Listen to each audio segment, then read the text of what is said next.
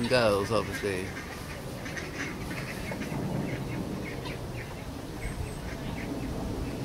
Just chilling.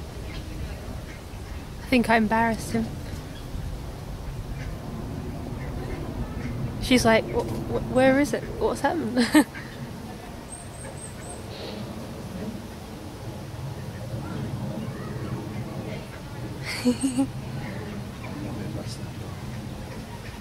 I think next year you'll probably get